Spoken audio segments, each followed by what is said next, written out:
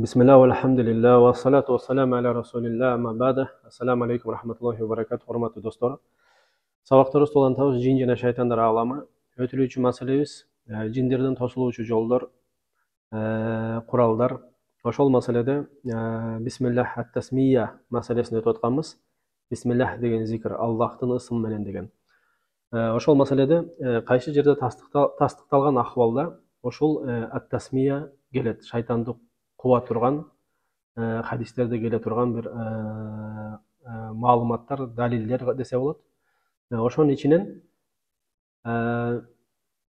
уна мүдүрүлгөн маалда мисалы үчүн ат менен баратсаң төө менен баратсаң кандай гана унаа болбосун бүгүнкү күндө жада калса ошол эгерде машина менен баратсаң ошол машина бузулуп жанагындай ар кандай бир акыбалдар боло турган болсо ошондо шариатталган жери бар. Ошол маалда бисмиллах деп айтсаң болот хадисте келет пайгамбарыбыз саллаллаху алейхи вассалам айтат абу мали радиаллаху анхудан келет ал бир кишиден риваят кылат. Ошол риваят кылган киши айтат бир күнү пайгамбарыбызга уч кашып бараткам дейт. Анан баратсак ошол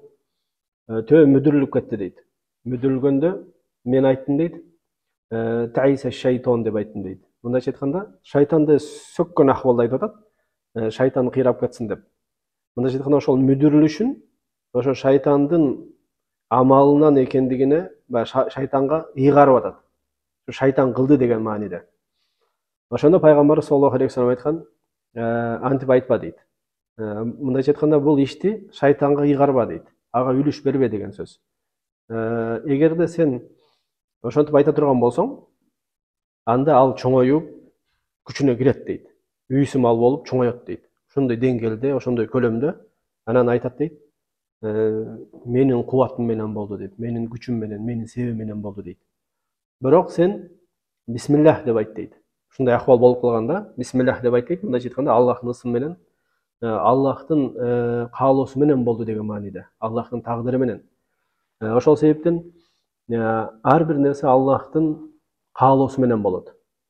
бул тагдыр маселеси эгер болгон болсо ал өтүп кетпейт эле деген сөз ошон үчүн ар бир майда барат иштердин баардыгын аллахка ыйгарган жакшы болот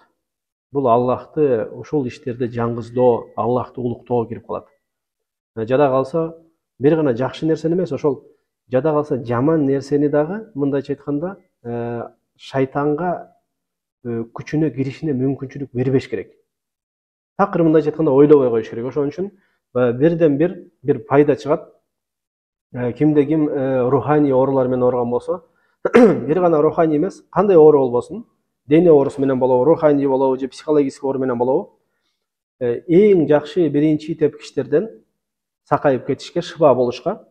ошол ооруга этибар бербей коюш керек көбүнчө ошол баягы руханий оору дегенибиз ошо шайтан жиндердин себеби менен болот да. Ошон үчүн ошол ошол менде жин бар же менде көз түйүү бар менде көрө албастык бар менде сыйкыр бар деп муну ойлой бербеш керек. Мен ошол шайтандын жиндин себебинен болуп атат деп аны күчүнө киргизе бербеш керек аны күчтөндүрө бербеш керек ага мүмкүнчүлүк бербеш керек. Ошол сени толук оюңду дагы пикириңди дагы жүрөгүңдү дагы ошону менен бирге денеңе дагы зыян бербештик үчүн.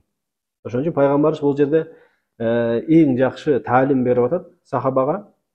антип мүмкүнчүлүк шайтанга бербе дейт антип айтпай эле кой дейт андан көрө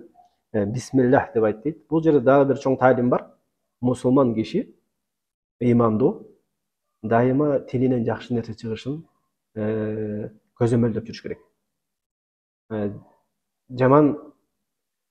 пайгамбарыбыз бөлөк хадисте айтат тилдин жамандыгы ыймандан эмес деген да тил бузук болбош керек дайыма мусулмандын тилинен бир гана жакшы нерселер чыгыш керек же жакшылыкка буйруш керек же жамандыктан тийиш керек же аллахты зикир кылыш керек ошол маселе дагы ошол пайда дагы турат бул хадистин ичинде демек ошол эгерде жанакындай жакпаган нерсе болуп кала турган болсо ошол унаа менен машина бузулуп калышы мүмкүн кайра бузулуп кайра жүрүшү мүмкүн ар кандай бир акыбалдар болушу мүмкүн бүгүнкү күндө. Ошондо ошол ахвалга этибар бербей аллахка кайттырып бул ахвалды деп өзүңдү күчтөндүрүп шайтанды алсыздатырып анан кийин колуңан келген себепти кылыш керексиң. Бөлөк хадисте ибн масудтан келген асарда ибн масудтан келген асарда ибн масуд айтат имам абдуразактын мусаннаф китебинде келет эгерде киши унаага отура турган болсо дейт унаага отурса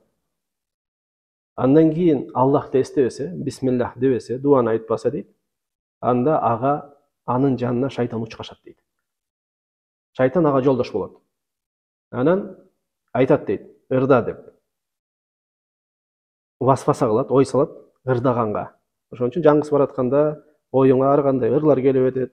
ар кандай ушу кереги жок бир ойлор келе берет эгер ошол нерсени кылбай турган болсоң ошол васвасаны жасабай турган болсоң анда кыялдан деп айтат дейт анан кетип баратып убакытыңдын баарын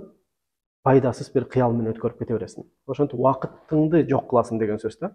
Себеп дегенде ошол убакытта сен көп зикир кылып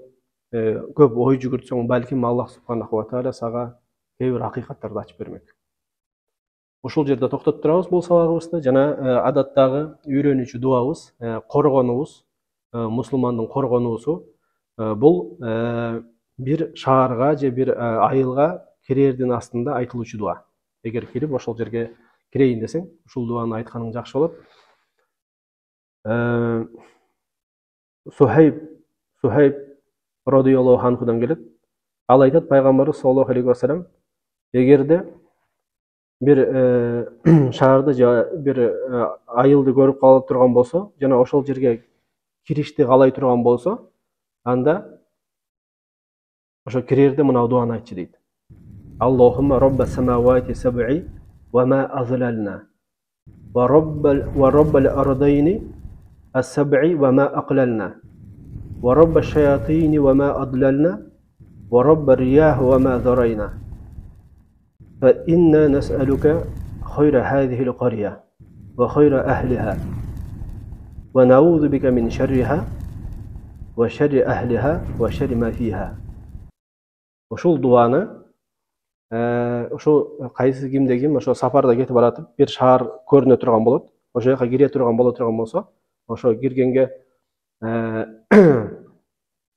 киришти каалай турган болсо ошол жерде ушул дуаны айтып аллахты эскере турган болсо бул жерде керектүү жер шайтан дагы эскерилип атат.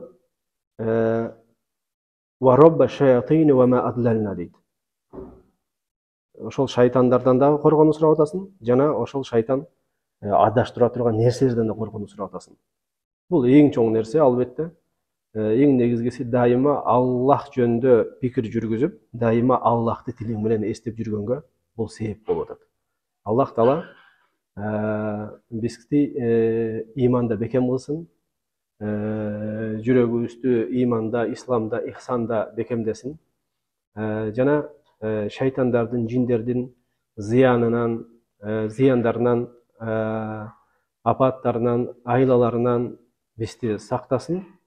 жана сабактарыбызды ихластуу кылсын берекелүү кылсын жана дайымдуу кылсын субханак аллахума ва бихамдик ашхаду алла илаха илля анта астагфирука ва атубу илейк көрүшкөнчө сак саламатта болуңуздар ассаламу алейкум рахматуллахи ва баракатуху